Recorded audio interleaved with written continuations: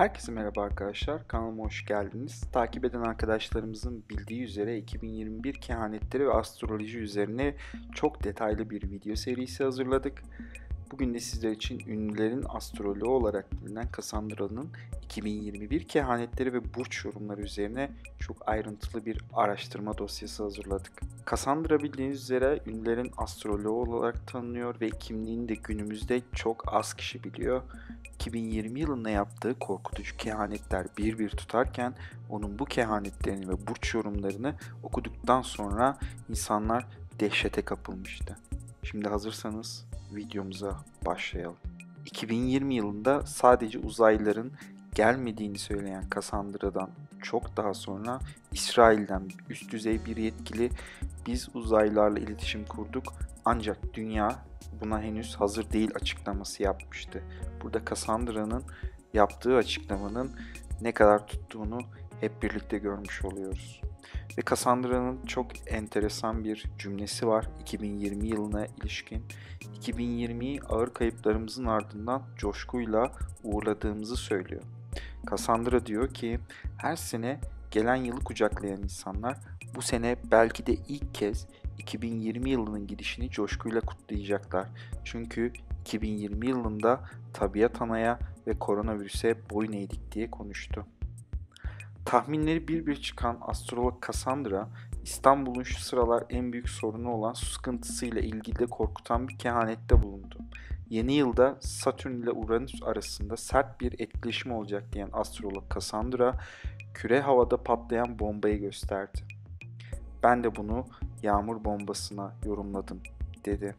Buradaki küre arkadaşlar Cassandra'nın kehanetlerini yaptığı o çeşitli filmlerde ve dizilerde gördüğümüz küre. Jüpiter ve Satürn kavuşumuyla 2021 yılı boyunca oluşturacağı dik açılarına paralel olacak olan diyen Cassandra, yıldızlar da kürem de Türkiye'de 2021 yılı içinde deprem olacağını gösteriyor. Bu deprem de öyle küçük çapta olmayacak. 5,5 büyüklüğünün üstünde olacak. En az hasar atlatmak tek temennim. Ama deprem korkusu hepimizi etkisi altına alacak diye de konuştu.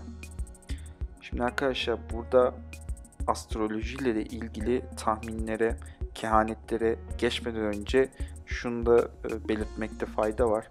Ünlülerin astroloğu Cassandra ilk olarak Kova burcunun sıfır derecesinde olacağını belirtiyor ve bu 200 yıllık döngünün başlangıcıdır diyor.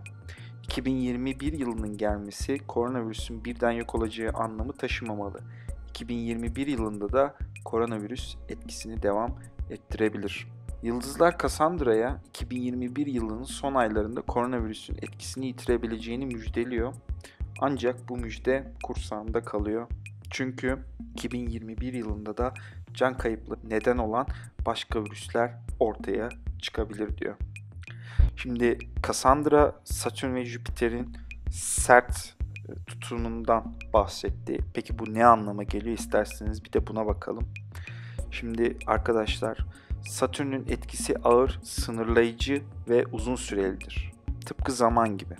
İnsanın kendini geliştirip yücelteceği, sorumluluğunu, görev duygusunu, kişisel disiplinini, sabır, direnç ve kararlılığını arttıracak bir güce sahiptir.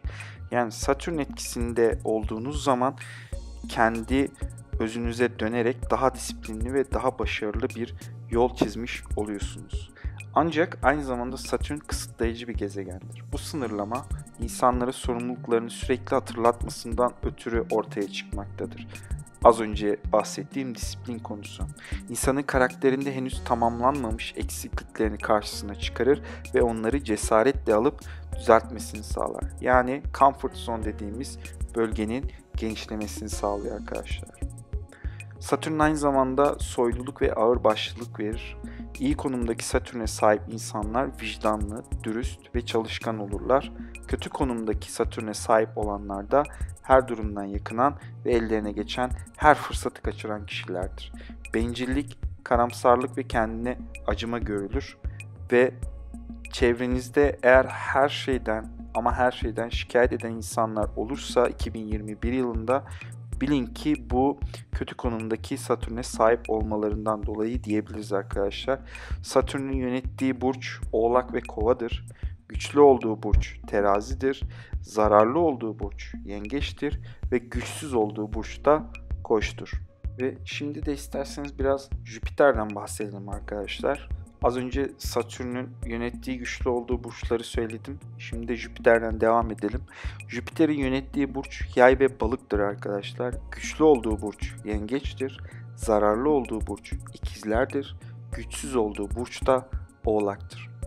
Şimdi Jüpiter dediğimiz zaman astrolojide karşımıza şans kavramı çıkıyor. Çünkü Jüpiter şansların en büyüğüdür. Tüm umutların yitirildiği bir anda bir kurtuluşu bulmayı simgeler. Kişinin din, felsefe ve eğitimle ilgili konularda yaşamın hangi alanlarında kendisini ortaya koyduğunu gösterir. Yani bu kişiliğimizi aslında nasıl yansıttığımızla da alakalı. Yani kendimizi geliştiriyoruz bir yandan ama bir yandan da kişiliğimizi dışa aktarıyoruz. Bu alanlar maddesel ve ruhsal zenginliklerin hangi sosyal düzenlerde gelişebileceğini, karşılığında nasıl bir şans elde edilebileceğini de gösterir. Kötü konumdaki Jüpiter kararsız bir kişiliği gösterir. Bu kararsızlık da bize ikizler burcunu işaret ediyor arkadaşlar. Bu kişiler tüm görüş ve düşüncelerinde aşırı bir yol izler. Yani ortaları yoktur.